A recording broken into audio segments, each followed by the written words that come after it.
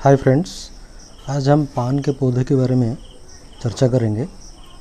पान एक उष्ण कटिबंधीय पौधा है तथा इसके पैदावार के लिए अनुकूल परिस्थितियाँ आवश्यक है।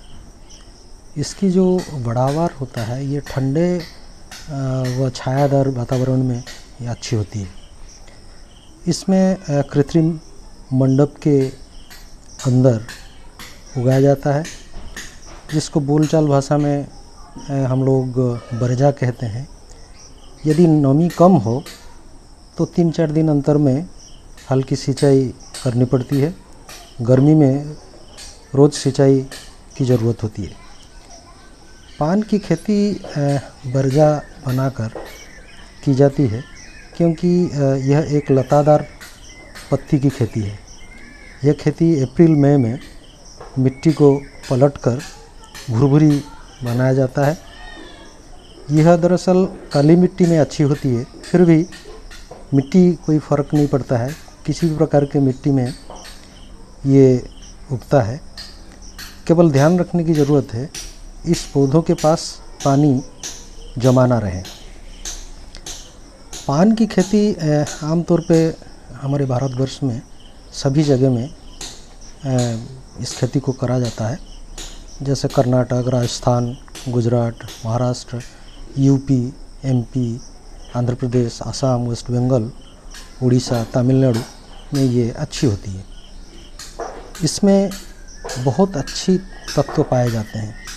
जैसे इसमें आप फास्फोरस पाएँगे, कैल्शियम पोटासियम कपर, जिंक, शर्करा इत्यादि।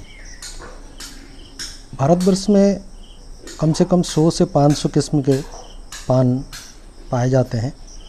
जैसे बनारसी सोनफिया, बंग, बंगला और देशबरी मीठा और कलकटिया कानपुरी और बंगला। इस तरीके की कई प्रकार की ये पाए जाते हैं। और पान के जो पत्ते होते हैं, ये काफ़ी फ़ायदेमंद होता है हमारे शरीर के लिए। जैसे पान खाने से होने वाले अद्भुत फ़ायदे हैं। जैसे खांसी है, शरीर के दुर्गंध है, घाव है, मुँह के छाले हैं और कील मुहासे अगर होता है, इवन कैंसर में भी पान के पत्ते को व्यवहार किया जाता है। तो ये तो हुई खेती की बात। इसको सो प्लांट के लिए भी आप गमले में लगा सकते हैं। जैसे मैंने ये यहाँ पे लगाया है। आपको ये ध्यान रखना होगा, इसके पास बहुत ज़्यादा पानी नहीं होना चाहिए और इसको छाएदार जगह में रखना बहुत ज़रूरी है। इसका मतलब ये नहीं कि इसको धूप की ज़रूरत नहीं है। धूप की तो ज़रूरत है, लेकिन डायरेक्ट धूप की इसकी ज़रूरत नहीं है। तो इस तरीके से आप इसको गमले में रख सकते हैं, लेकिन घर के अंदर नहीं है, घर के बाहर रख सकते हैं गमले में। ये देखने के लिए काफ़ी अच्छा है। ज़रूरत पड़ने पर इससे पत्ते ले करके भी आप चबा सकते हैं। तो ये काफ़ी फ़ायदेमंद है। आप इसको गमले में घर में लगा सकते हैं। थैंक यू दोस्तों।